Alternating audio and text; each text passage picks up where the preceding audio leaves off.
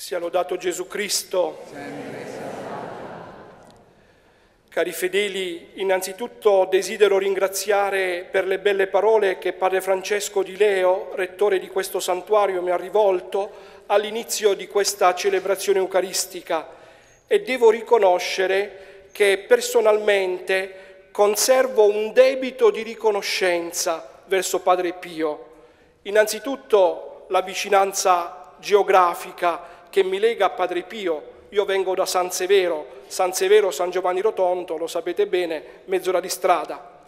Poi un altro motivo, Padre Pio è morto lo stesso anno in cui sono nato, a distanza di pochi giorni prima, quindi un altro debito di riconoscenza e poi la sua figura mi ha sempre appassionato, l'ho sempre letta la sua vita con grande interesse e passione. Un altro debito di riconoscenza lo devo ai frati cappuccini che sono custodi di questo santuario.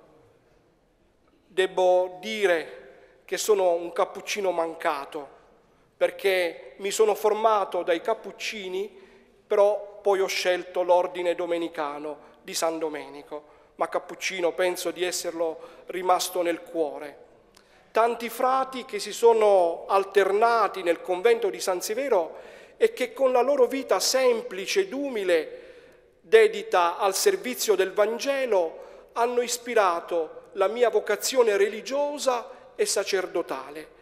Di essi conserverò sempre un grato ricordo. E mi viene dato il compito oggi di chiudere questo novenario in onore di San Pio nella festa di San Matteo, apostolo ed evangelista.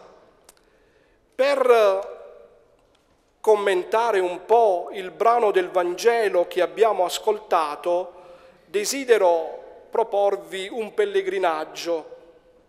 Vi porto a Roma, a San Luigi dei Francesi, di fronte al celebre dipinto che il Caravaggio ha fatto a proposito della vocazione di Levi. Levi sappiamo che è Matteo, è la stessa persona. E se vi ricordate in questo pellegrinaggio, a parte i colori, no? il Caravaggio, il pittore tenebroso, preferiva le ombre piuttosto alla luce. In questo dipinto ci sono due espressioni che meritano considerazione. Innanzitutto c'è Gesù che guarda Levi e questo fatto non, non è neutro. Gesù che passando guarda, ferma il suo sguardo su Levi. Levi sappiamo che era un esattore delle imposte, quindi un peccatore pubblico per la mentalità del tempo. È Gesù che pone il suo sguardo su di lui. Capite un po' la scena? Dagli altri allontanato, visto con sospetto, perché pubblico peccatore, riscuoteva le tasse e poi lavorava per l'occupante, i romani, quindi percepiva anche una parcella per lui, doppio motivo per metterlo da parte.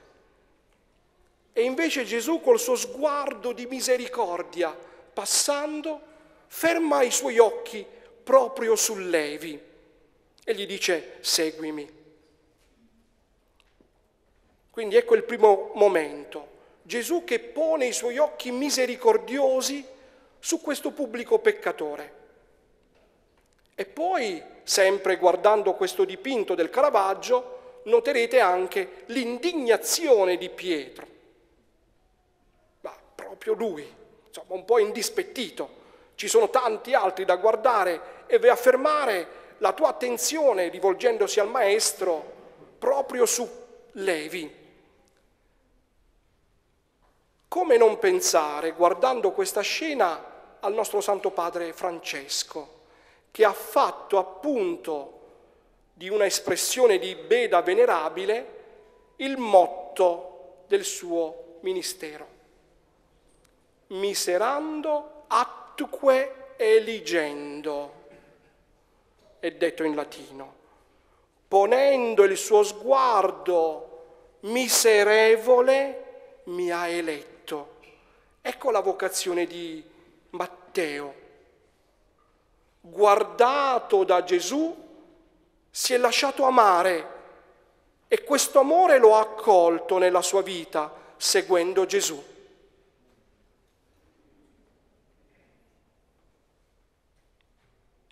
Ancora, nella colletta, questa orazione che, abbiamo, che ha recitato il Presidente per tutta l'Assemblea all'inizio della messa, ho pregato in questo modo.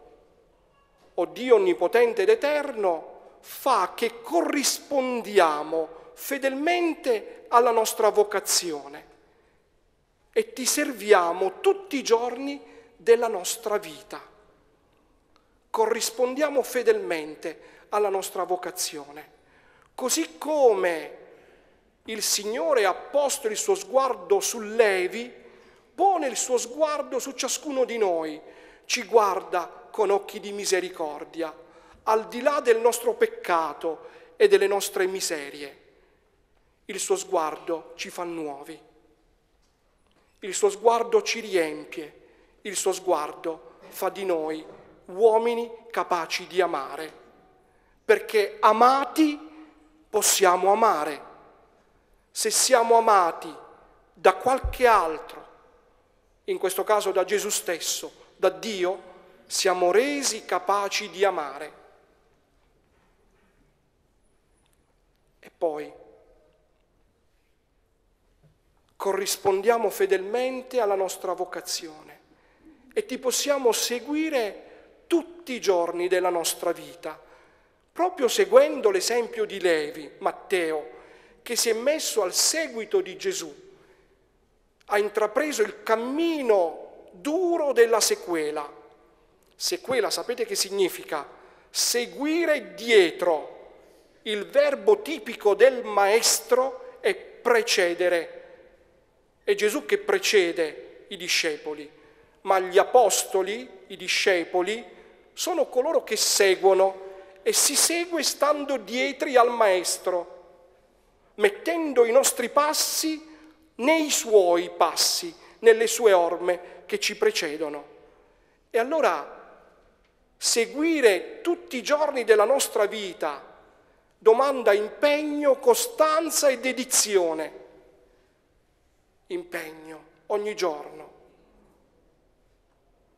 Costanza e dedizione, rinnegare se stessi, per seguire Gesù Cristo, l'unico Maestro, l'unico Signore. E quindi vedete, credo che con queste considerazioni non si possa chiudere meglio la novena in onore di San Pio. La sua potente intercessione ci indica proprio questo.